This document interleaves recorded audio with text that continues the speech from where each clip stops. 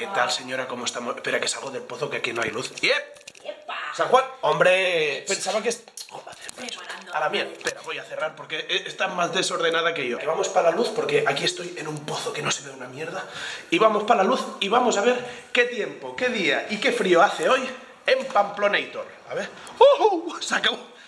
¡Ay! Se acabó. En el vídeo de hoy, cómo combinar trabajo y deporte extremo y la madre que parió el diablo. Dieguito, que me lleváis loco. ¿Cómo estamos? Ay, bueno, ahora vamos a seguir con la ruta de trabajo, pero yo sigo con esto. ¿Qué, qué- a- a- ¿En dónde? ¿En Vamos dónde? a Connor. Ah, a- Mira que bien equipado que nos viene Dieguito. Bueno, haciendo equipo, me han puesto de punta en blanco. Ay, espera, cinturón, cinturón. Ayer por la noche estuvimos grabando hasta tarde y tenemos que decir que las pasamos más putas que Caín con el frío que hacía.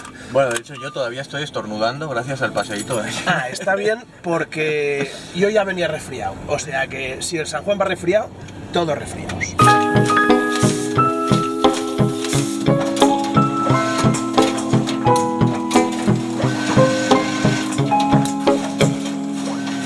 Connor, que tenemos... Mira, nos hemos fiado de Odey, de Guillem y de Borja para que grabara... ¿Qué tal? Os han- estoy seguro que os han robado un par de bicis y no os habéis enterado aún. Sí, porque es lo que hacen... Las tenemos controladas. Es lo que, bueno, no te preocupes, ya las echaréis de menos ya.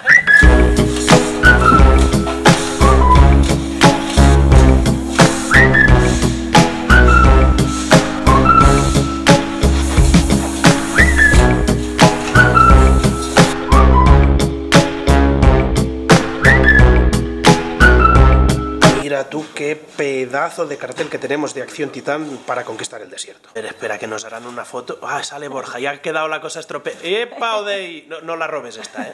Que te Mira, conozco. míralo, él con la bici ya la ha cogido. Sí, sí. bici en Peri la. Ahí está. persona que lo hace. ¿Qué, qué es lo que te llevó, Acabo otra entrevista. qué es lo que te le llevó a subirte a la bicicleta, ¿no? sobre todo a participar en competiciones como la Titán? the radio. Cause we're tired of hearing the same old song. Mira, en el ascensor aquí se verá un poco cómo vamos. Ma- maleta, maleta, ordenador, casco y aquí Odey. ¿Odey vas cargado? Sí, con esto tengo aquí colgado. Bueno, ya volvemos a ir a contrarreloj, con lo cual, mientras ellos montan... Ahora que toca entrevista, ¿no? Vale. Mien- sí. Mientras ellos montan el trípode y buscamos la localización por donde hacer eh, la entrevista, porque justo por aquí pasa el camino de Santiago, que no el camino de San Juan, pues mientras ellos van montando esto, yo aprovecho para contaros cómo intento hacerlo para combinar la vida del deporte con la vida del trabajo, con la vida de hacer los vídeos, porque al final yo creo que tengo tres cosas en mi vida que son casi como tres trabajos. Uno, director creativo y socio en Gordon Sin, la empresa que tenemos con mi hermana y en la que hacemos contenidos eh, para redes sociales y para marcas. Luego, la vida de deportista, amateur y todo lo que quieras, pero al final, entre los entrenos, las carreras, los viajes, pues es otra vida que podría ser de jornada completa. Y luego, la tercera vida, que podríamos definir la vida de youtuber, que a mí me gusta más, eh, la vida de creador de contenidos o creador de vídeos o creador de historias, que al final, joder, las horas que le dedico a esto podrían ser también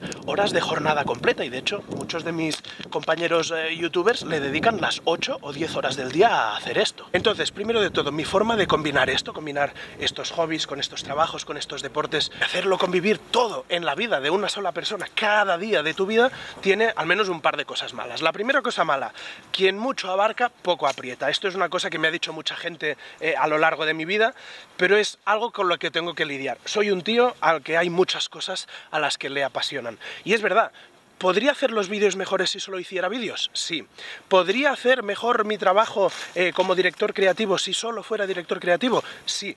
¿Podría ser mejor deportista amateur si solo hiciera deporte y le dedicara ocho horas al día? Sí.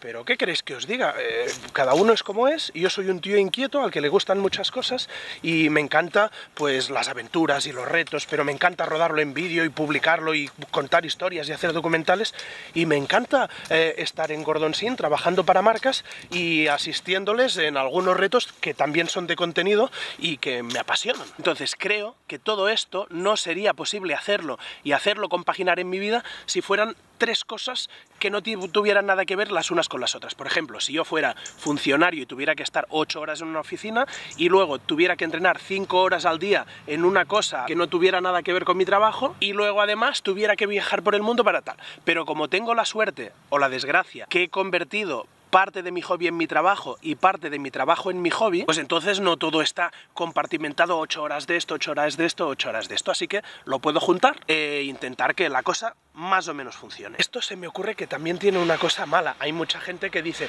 encuentra algo que te guste y no trabajarás en toda tu vida, porque las horas que dediques a trabajar para ti serán hobby. Esto es la parte buena. La parte mala es que, claro, que hay momentos en que te estresa. ¿Por qué te estresa? Pues porque no tienes desconexión al 100% casi en ningún momento, porque estás en tu hobby y lo estás haciendo parte de tu trabajo, y estás en tu trabajo y lo estás haciendo parte de tu hobby, y estás en vacaciones y cada día tienes que subir un vídeo, pero el hecho de hacer esto y el hecho de pagar este peaje me permite a día de hoy tener una vida en la que yo decido todo lo que quiero hacer, cuándo lo quiero hacer y de qué manera. ¿Está listo esto o no? Tenemos listo y preparado. ¿Me sacaréis bien o no? Que ya sería hora que alguien me sacara bien. Cabrones, maquilladme, ¿eh? Entonces, esto son distintas maneras de plantearte tu relación con tu trabajo y tu relación con, tu vida.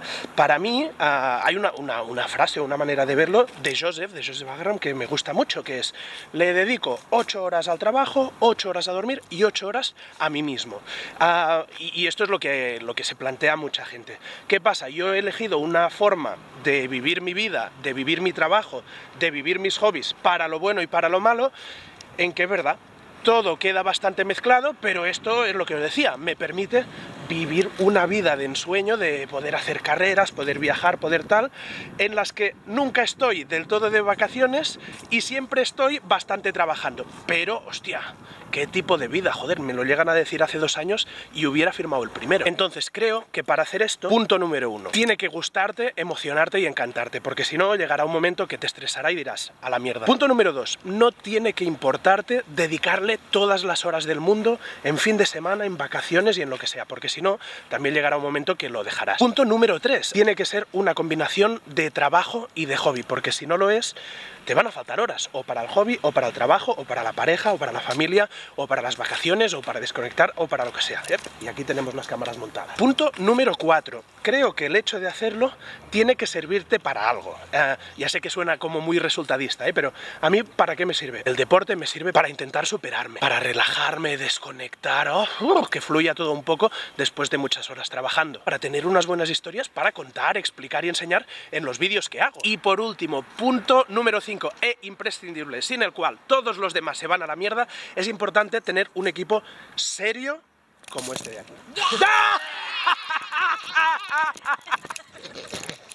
Pero coño, caerse a dormir al suelo, ¿no? Guillem no, que va trajeado. Tú, Borja, tírate ya, coño, ya, coño, ya.